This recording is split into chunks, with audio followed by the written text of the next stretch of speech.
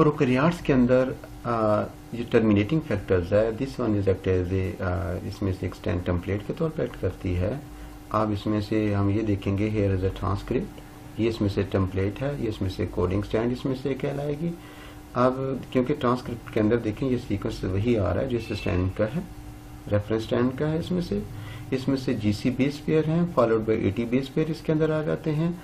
यहाँ से जो ट्रांसक्रिप्ट बनेगा, आ मैसेंजर आर बनेगा, वो हेयरपिन लूप लैक स्ट्रक्चर उसमें से बना लेगा। जैसे हेयरपिन लूप लैक स्ट्रक्चर बनेगा, उसके बाद यहाँ से यूएसएल के फोर या मोर न्यूक्लियोटाइड इसके साथ यहाँ से अटैच हो जाएँगे इस हेयरपिन लूप लैक स्ट्रक्चर के साथ, जो इस प्रोसेस को स्टॉप कर देगा।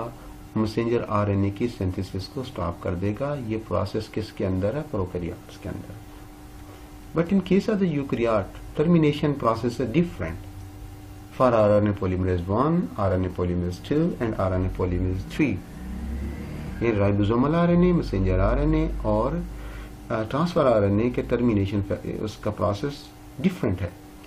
R N A polymerase second does not terminate the transcription at specific site but transcription can stop at varying distance downstream of the gene यानी जीन्स की जो उसमें से रेफरेंस स्टैंड की अगर उसमें देखते हैं, हम उसमें से थ्री प्राइम एंड की तरफ़ देखेंगे कि इसमें ट्रांसक्रिप्शन आरएनए पॉलीमरेज सेकंड जो है, ये क्या करेगा? स्पेसिफिक साइड के ऊपर टर्मिनेट नहीं करेगा। वो जीन के स्पेसिफिक डिस्टेंस से भी थोड़ा सा आगे चला जाएगा।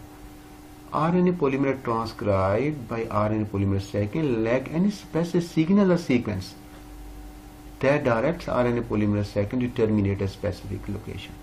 इसकी रीजन क्या है? क्यों वो स्पेसिफिक साइट के ऊपर आकर टर्मिनेट नहीं होता?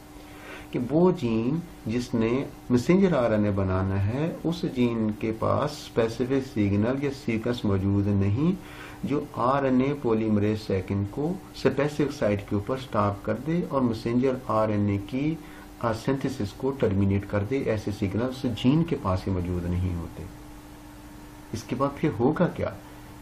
By RNA polymerase second in the eukaryote takes place. 1000 to 2000 nucleotide beyond the end of the gene being transcribed. Gene का वो पार्ट जिसने ट्रांसक्राइब होना था, उसको ट्रांसक्राइब होने से हो गया। उसके बाद थाउज़ेंड से लेकर टू थाउज़ेंड न्यूक्लियोटाइड तक आरएनए पॉलीमरेज सेकंड जो उसमें से होगा, वो वहाँ तक मूव करेगा, वहाँ तक आरएनए की स्टैंड बना लेगा। एक्चुअल सीक्वेंस से भी थाउज़ेंड टू थाउज़ेंड न्यूक्लियोटाइड फिर जो ये एक्स्ट्रा स्टैंड उसमें से बनेगी थाउज़ेंड टू थाउज़ेंड न्यूक्लियोटाइड की स्टैंड बनेगी। इस स्टैंड को हम कहते हैं प्री मैसेंजर और प्रिकर्सर मैसेंजर आरएनए टेल इस टेल को डीएनए आरएनए मैसेंजर आरएनए की प्रोसेस के दौरान इस जो एडिशनल पार्ट बना था, उसको क्लीव करके अलहदा कर दिया जाता है।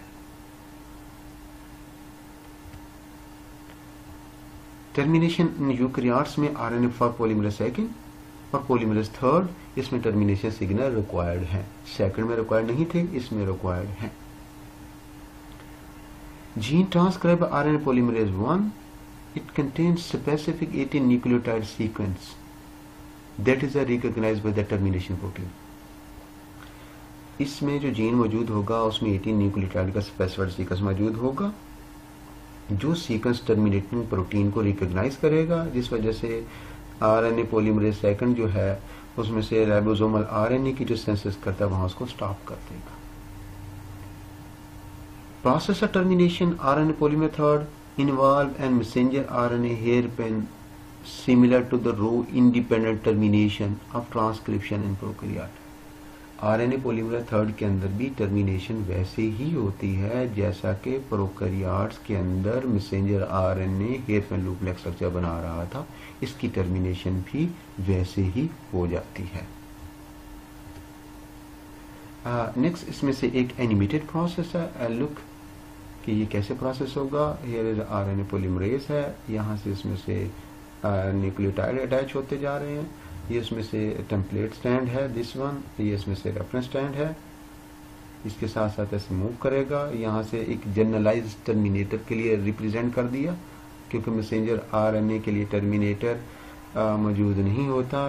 राइबोसोमल आरएनए और ट्रांसफ़र आरएनए के लिए टर्मिनेटर जीन के ऊपर मौजूद होते हैं। ये एक सिंपल सा, इस तरह से प्रोसेस है। आई होप आप लोगों को यकीनन ये समझ आ गया होगा। Thank you very much.